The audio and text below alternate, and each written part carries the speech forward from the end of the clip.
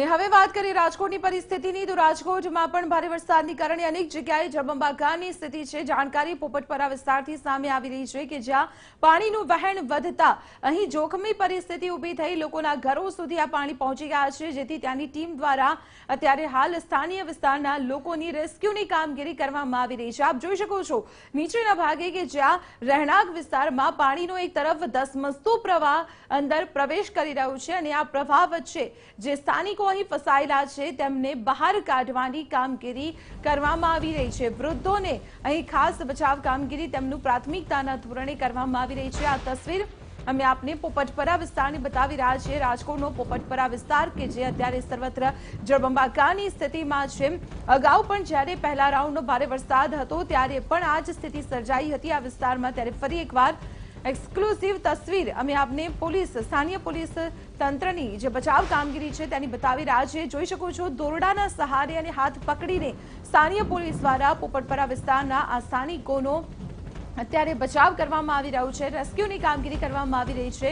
તેમના મકાનોમાં જે પાણીનો ધસમસતો પ્રવાહ અત્યારે પ્રવેશ કરી રહ્યું છે, તે વચ્ચે તેમના જીવ ઉપર કોઈ જોખમ ન સર્જાય તે માટે થઈને તેમને અહીંથી બચાવવામાં આવી રહ્યા છે. ઊંચાણવાળા સુરક્ષિત જગ્યાઓ પર તેમને ખસેડવાની કામગીરી કરવામાં આવી રહી છે. આ તસવીર રાજકોટના પોપટપરા વિસ્તારની એક્સક્લુઝિવ તસવીર અમે આપને બતાવી રહ્યા છીએ કે જ્યાં ધસમસતો પાણીનો પ્રવાહ એક તરફ અંદર પ્રવેશ કરી રહ્યું છે, ત્યાં બીજી તરફ લોકો અહીં પોતાના રહેણાંક મકાનોમાં ફસાઈ ગયા છે, તેઓ બહાર પણ નથી નીકળી શકતા. ત્યારે સ્થાનીય પોલીસની ટીમ અને કેટલાક યુવાનોની ટીમ ત્યાં પહોંચી ગઈ છે અને તેમના દ્વારા તમામ લોકોને બચાવવાનો પ્રયત્ન કરવામાં આવી રહ્યો છે. રેસ્ક્યુની કામગીરી કરવામાં આવી રહી છે. દોરડાનો સહારો લઈને અહીંથી લોકોને બચાવવામાં આવી રહ્યા છે. રાજકોટમાં અત્યારે ભારે વરસાદના કારણે હાલાકી છે. પોલીસ દ્વારા રેસ્ક્યુની કામગીરી હાથ ધરવામાં આવી છે. હાલ અમે મિયાણાવાસમાં મિયાણા છીએ કે જે આપ દ્રશ્યો પરથી અંદાજ લગાવી શકો છો કે કમર સુધીના જે પાણી છે તે પાણીમાં પોલીસ દ્વારા જે જે લોકો છે તે લોકો ફસાયા છે. તેનું રેસ્ક્યુની કામગીરી હાથ ધરવામાં આવી છે. ખાસ કરીને જે જે અધિકારીઓ છે તે ક્રાઇમ બ્રાન્ચ અને એસઓજીના જે અધિકારીઓ છે, અધિકારીઓ દ્વારા લોકો રેસ્ક્યુની કામગીરી હાથ ધરવામાં આવી છે. જે રીતે દ્રશ્યોમાં આપ જોઈ શકો છો કે જે સ્થાનિક લોકો ફસાયા છે તે લોકોને કાઢવાની જે કામગીરી છે અને સ્થળાંતર કરવાની કામગીરી પોલીસે પણ હાથમાં લીધી હોય તેવું લાગી રહ્યું છે અને પોલીસ દ્વારા લોકોને જે સ્થળાંતર કરવાની પ્રક્રિયા હાથ ધરવામાં આવી છે. આશરે એક હજાર કરતા વધુ લોકોનું અત્યાર સુધીમાં સ્થળાંતર કરવામાં આવ્યું છે. આસપાસના જે જે સ્કૂલ હોય, આંગણવાડી હોય, તેવા તમામ વિસ્તારોમાં લોકોનું સ્થળાંતર કરવામાં આવ્યું છે. ખાસ કરીને જે નીચાણવાળા વિસ્તારો છે, જે હોકળા આસપાસના વિસ્તારમાં જે લોકો રહેતા હોય છે, ત્યાં કમર સુધીના પાણી વહી રહ્યા છે અને તેને કારણે જ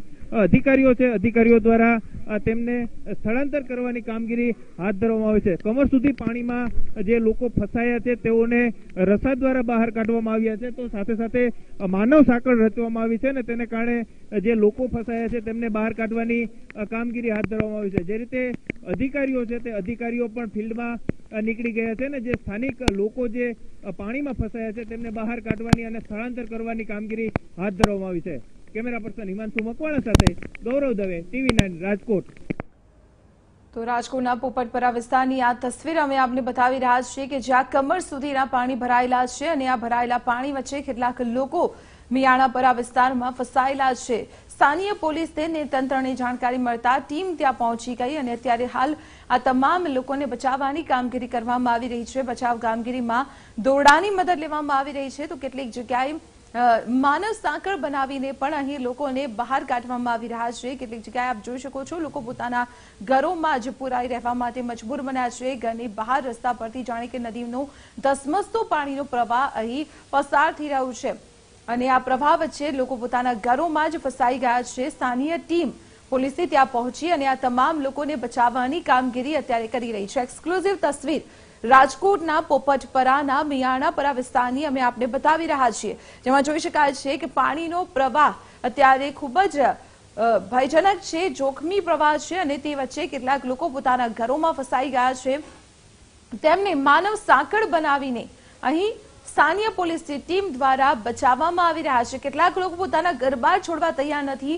ત્યારે આ લોકો દ્વારા તેમને સમજાવવામાં આવી રહ્યા છે. તેમના જીવ ઉપર કેટલું જોખમ છે તે વિશે માહિતગાર કરવામાં આવી રહ્યા છે. સમજાવીને લોકોને તેમના ઘરમાંથી બહાર નીકળવા માટે તેમને સમજાવવામાં આવી રહ્યા છે. આ તસવીર આપ જોઈ શકો છો કે રહેણાંક મકાની કે જ્યાં ઘરમાં રહેલા લોકો પોતાનું ઘર છોડવા માટે તૈયાર નથી, ત્યારે ત્યાં પહોંચેલી ટીમ તેમને સમજાવી રહી છે, બહાર નીકાળવાનો પ્રયત્ન કરી રહી છે.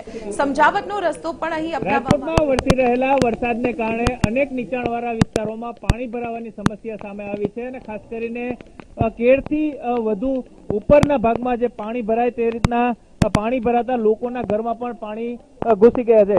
પોલીસ તંત્ર લોકોને બહાર આવ્યું છે ને તેમના દ્વારા તેમને રેસ્ક્યુ કરવાની કામગીરી અને લોકોને સ્થળાંતર કરવાની કામગીરી હાથ ધરવામાં આવી છે. મારી સાથે ક્રાઇમ બ્રાન્ચના પીઆઈ એચ એમ ગઢવી સાહેબ છે. તેમની સાથે વાત કરશું. સાહેબ, કઈ રીતની કામગીરી હાથ ધરવામાં આવી છે અને કઈ રીતના લોકોને બહાર કાઢવાની કામગીરી?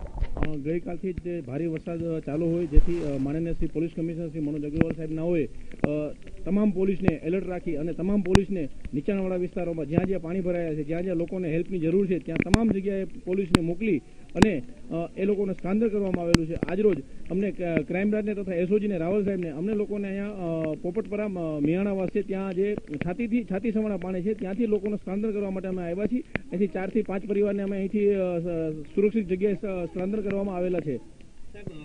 હજી આગામી અડતાલીસ કલાક ભારે વરસાદની આગાહી છે. પોલીસ તંત્ર કેટલું એલર્ટ છે અને કઈ રીતના કામગીરી હાથ ધરશે પોલીસ તંત્ર સંપૂર્ણપણે એલર્ટ છે અને પોલીસ તંત્ર જ્યાં જ્યાં લોકોને જરૂર છે ત્યાં પોલીસ પહોંચી જ જાય છે અને કોઈપણ કોઈ પણ હાલતમાં લોકોને સુરક્ષિત બચાવવા એ પોલીસની અમારી ફરજ છે. જે રીતે રસ્તાથી રેસ્ક્યુ કરવામાં આવ્યું આ પ્રકારે રેસ્ક્યુ ક્યારે કરવામાં આવતું હોય છે અને કેટલી ટીમો કાર્યરત કરવામાં આવી છે? જ્યારે લોકોને એમ લાગે કે મકાનમાં ભય છે લોકો રહી શકે એમ નથી લોકોના ઘરમાં પાણી ઘૂસી ગયા છે કોઈ બીજો રસ્તો નથી ત્યારે એ લોકોને સ્થળાંતર કરવામાં આવે છે અને તેને સુરક્ષિત જગ્યાએ એના સગાવાલા હોય તો સગાવાલાને અથવા તો સગાવાલા ન હોય તો કોઈ પણ સરકારી જગ્યાએ એ લોકોને સ્થળાંતર કરી અને તે લોકોને ત્યાં રહેવા જમવાની વ્યવસ્થા કરી દેવામાં આવે છે. આ હતા ગઢવી સાહેબ કે જેમનું સ્પષ્ટ કહેવું છે કે જે રીતે લોકોના ઘરમાં પાણી ભરાયા છે અને તેને કારણે જે છાતી સુધીના જે વિસ્તારમાં પાણી ભરાયા છે, તે વિસ્તારના લોકોને સ્થળાંતર કરવાની કામગીરી છે, તે કામગીરી હાથ ધરવામાં આવી છે અને હજુ પણ જે ભારેથી અતિ ભારે વરસાદની આગાહી કરવામાં આવી છે, ત્યારે પોલીસ તંત્રની અલગ અલગ ટીમો છે, તે ટીમો દ્વારા આ જ પ્રકારે રેસ્ક્યુની કામગીરી પણ હાથ ધરવામાં આવશે.